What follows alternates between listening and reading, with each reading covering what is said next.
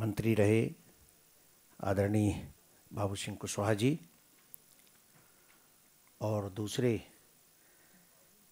हमारे प्रदेश अध्यक्ष के बगल में बैठे हुए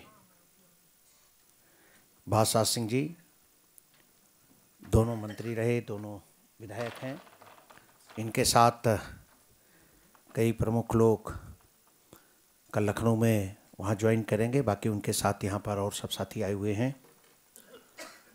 और आज इनको मैं पार्टी के अंदर ज्वाइन कराता हूँ।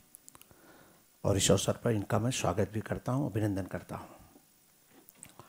उत्तर प्रदेश की हालत ठीक नहीं है। जो रिजर्वेशन केंद्र सरकार ने किया है,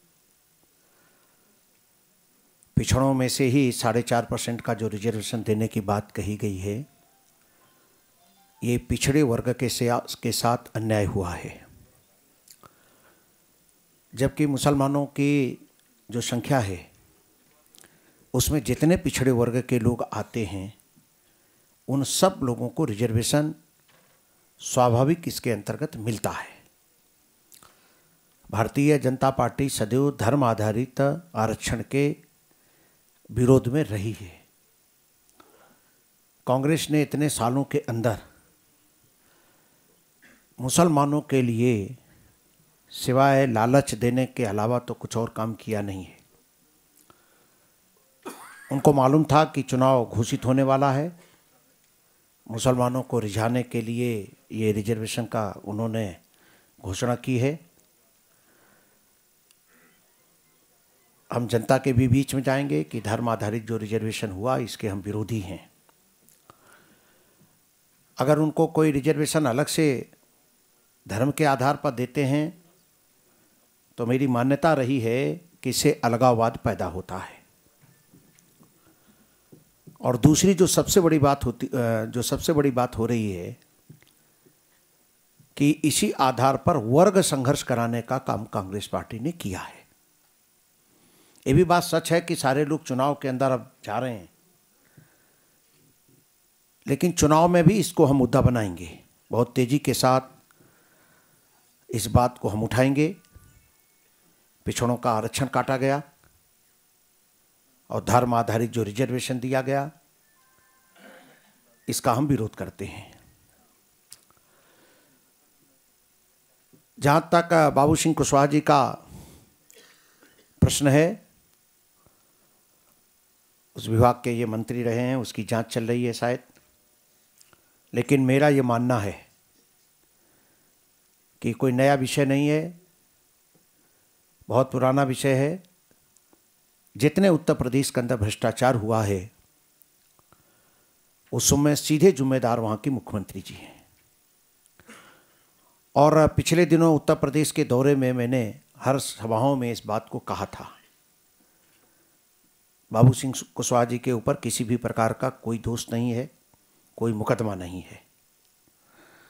और इसीलिए हमने उनको भारतीय जनता पार्टी में ज्वाइन किया है। आखिर मायावती जी के पास कौन सी फैक्ट्री है, लगी हुई? कि जब मुख्यमंत्री नहीं बनी थी, उस समय इनकम कितनी थी और आज की कितनी इनकम है? और ये सार्वजनिक होती है अब आजकल जो ब्लैक मनी तो छोड़िए, जो वाइट मनी हो रही है, वो हर जो चुनाव में जब आता है उसमें पर्चा दाखिल करते थे कि एफिडेविट देना पड़ता है। उसमें एक साथ इनकी इतनी, इतना रुपया ये कहाँ से बढ़ता चला जा रहा है? ये जनता को उनको जवाब देना पड़ेगा और इस मुद्दे को भी हम ज़ोर शोर से उठाएँगे। हमारे बीच में हमारे प्रदेश के अध्यक्ष आदरणीय शाही जी हैं सूर्य प्रताप शाही जी। कुछ प्रदेश के विषय में कुछ और बताना चाहेंगे, मैं उनसे आगे करूँगा आगे की बात। थोड़ा सा आप कुर्सी उधर कर लें, ताकि उस पर ये, चालू है ये चालू ए शाही जी की बात हो जाए मैं अभी फिर आपसे निश्चित आपको मौका दूँगा। श्री बाबू सिंह कुशवाहा जी और श्री बादशाह सिंह जी ये दोनों आज भारतीय जनता पार्टी की सदस्यता को स्वीकार कर रहे हैं और इन दोनों ने इस बात का फैसला किया है कि हम उत्तर प्रदेश में भारतीय जनता पार्टी को जीतने के लिए पूरी ताकत से लगेंगे और अपने सामर्थ्य के साथ इसमें जुटेंगे।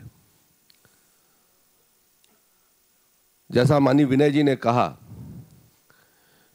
कि उत्तर प्रदेश में मुख्यमंत्री ही सारे भ्रष्टाचार और लूट की पोषक रही हैं संरक्षक रही हैं और उनका सीधा उसमें भागीदारी रही है। श्री बाबू सिंह कुशवाहा जी उसके बलि के बकरे की बक, बकरा बनाए गए हैं। इनके ऊपर कोई आरोप नहीं है।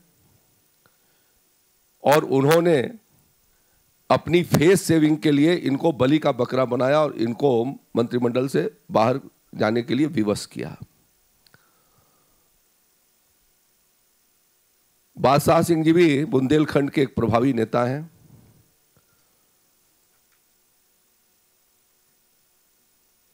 और इन्होंने भी पार्टी की सदस्यता को स्वीकार किया है। इन दोनों की ताकत से भारतीय जनता पार्टी को उत्तर प्रदेश के 2012 के मिशन में चुनाव जीतने की संभावनाओं में हमें पूरी ताकत मिलेगी और हम निश्चित रूप से अपने बलबूते पर सरकार बनाएँगे। उत्तर प्रदेश की जनता इस समय पाँच साल के बहुजन समाज पार्टी के शासन से त्रस्त है।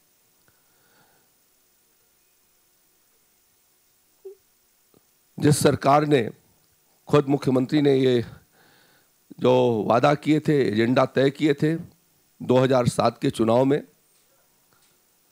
कि हम उत्तर प्रदेश में कानून का राज बनाएँगे और भ्रष्टाचारियों को सजा देंगे, मुलायम सिंह यादव जी को और अमर सिंह को जेल में भेजेंगे। मैं आज पाँच साल के बाद ये कह सकता हूँ कि बहुजन समाज पार्टी की नेता श्रीमती सुश्री मायावती जी ने जो जनता को आश्वासन दिया था उस कसौटी पर वो खरी नहीं उतरी। उत्तर प्रदेश में न कानून का शासन स्थापित हो सका और न भ्रष्टाचारी या गुंडा राज के पोषक जेल जा सके। और इसलिए उत्तर प्रदेश की परिस्थितियों में आज भारतीय जनता पार्टी 2012 में एक नई भूमिका में आ रही है और आप सबके माध्यम से उत्तर प्रदेश की जनता से मैं अपील करना चाहूँगा कि उसके सामने सबसे अच्छी विकल्प भारतीय जनता पार्टी ही है और इस नाते आज उत्तर प्रदेश में बड़े पैमाने पर विभिन्न राजनीतिक दल के लोग भी भारतीय जनता पार्टी में आ रहे हैं। जनता का भी आशीर्वाद हमको बढ़ा है और हम उत्तर प्रदेश की सत्ता को बदल सकेंगे। श्री बादशाह सिंह जी, भारतीय जनता पार्टी से चार बार विधायक रहे। कुछ कारणों से इन्होंने पार्टी छोड़ करके ये गए। लोकायुक्त के सामने जो इनका प्रकरण था वो भ्रष्टाचार या घोटाले से संबंधित नहीं था। वो एक ज़मीन के भूस्वामित्व का विषय है जो आ, आगे भी अदालत में चलने वाला है। वो पारिवारिक है। और वो पारिवारिक विषय है और उसके आधार पर इनके बारे में टिप्पणी आई। कोई गंभीर बात उसके पीछे नहीं रही है और मैं इन दोनों को पार्टी में शामिल कराते हुए अपने को मैं इनका स्वागत करता हूँ और मैं अनुभव करता हूँ कि उत्तर प्रदेश में बाबू सिंह कुशवाहा जी के आने से और बादशाह सिंह जी के आने से ताकत मिलेगी। धन्यवाद। जी। जी, दोनों लोग चुनाव में अभी तो विचार करेंगे। ये हमारे राष्ट्रीय अध्यक्ष जी और पार्टी का जो सिस्टम है, उसके आधार पर हम लोग तय करेंगे और चुनाव जब लड़ेंगे तो उसकी घोषणा होगी। स्वाभाविक है, आपको इसकी जानकारी मिल जाएगी। एक एक एक।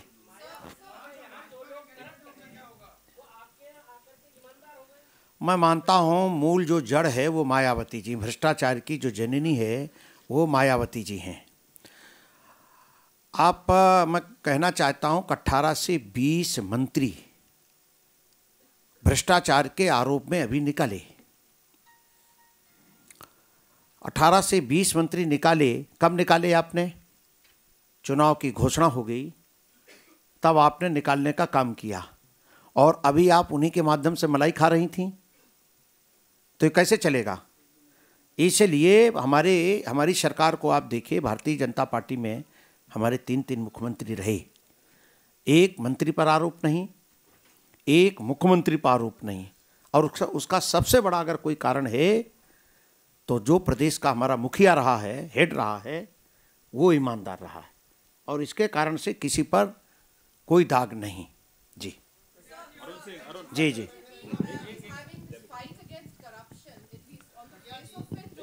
देखिए एक एक एक एक चाहिए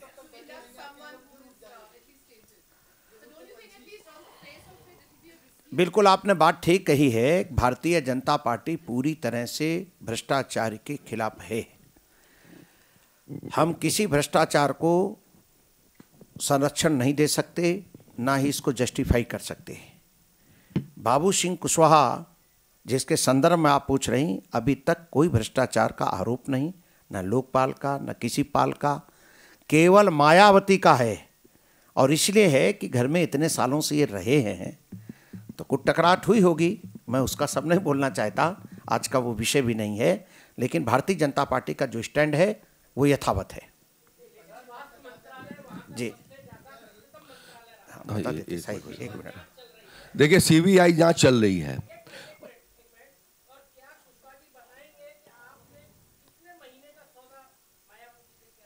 एक मिनट मैं बता देता हूँ।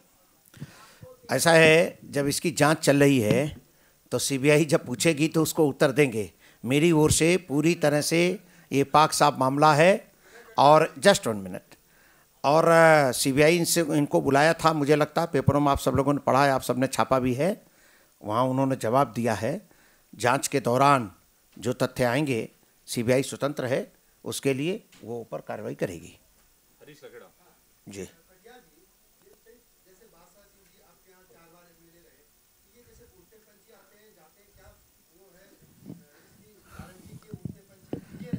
ऐसा है ये कहीं रहते हैं फिर भी हमारी डाल पर रहते हैं। और ये कहीं जाते वाते नहीं हैं। और ये स्वाभाविक, ये फिर हमारे डाल पर हैं। पहले भी डाल पर थे, आज भी हैं, आगे भी रहेंगे। आप जो समझ लें, मान लें, कोई दिक्कत नहीं है। आगे। जी, एक, जी।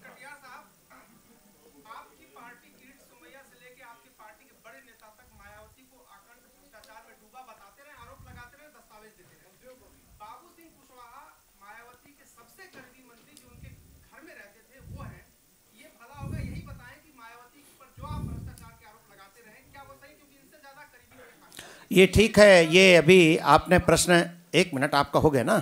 आपने प्रश्न बिल्कुल ठीक पूछा है। अभी चूँकि जाँच चल रही है, सीबीआई के इनसे पूछताछ कर रही है तो जो जाँच में आएगा, वो बताएँगे वो, और सीबीआई के माध्यम से आपके पास आ जाएगा। आज आज इसके अलावा कुछ नहीं। है जी।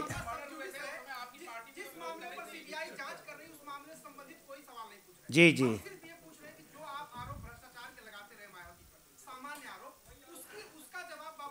पहली बात तो मायावती पर मैं जो आरोप लगाता रहा हूँ, वो सामान्य नहीं है, बहुत गंभीर आरोप हैं। आज भी जो मैंने बात बोली, बहुत ज़िम्मेदारी के साथ गंभीर बात बोली है, और अगली प्रेस कॉन्फ्रेंस में आपसे फिर मिलेंगे। तो फिर पूरा, क्योंकि आज नए मेहमान हैं, आप पहले दिन मत शुरू कर दीजिए, बाद में शुरू करिएगा। बात करता हूँ, धन्यवाद, जरा इनको बुके दीजिए। हाँ हाँ पूछो पूछो। आपका सवाल तो हम टाल नहीं सकते हाँ पूछें।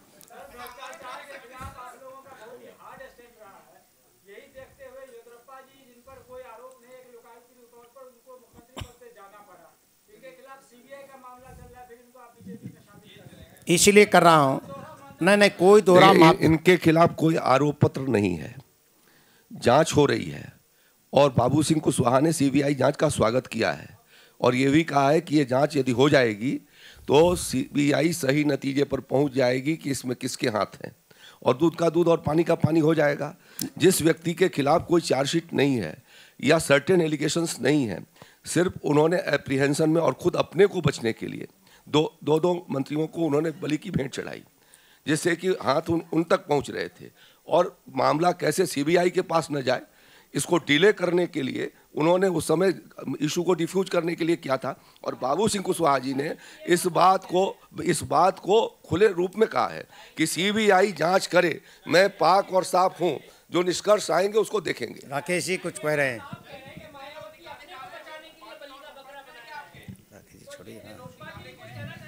नहीं नहीं, आज हम, आज इनको अनुमति नहीं देंगे किसी कहने को। आज केवल इनका स्वागत और फिर मिलेंगे। हम तो आपसे मिलते रहते, राकेश जी। और कौन है? अमिताभ जी। हाँ अमिताभ जी का। हमने? ऐसा है हमारे यहाँ परंपरा हिंदू धर्म किसी छोड़ने के नहीं, अंत तक निभाने की है। प्रतीक्षा कीजिए।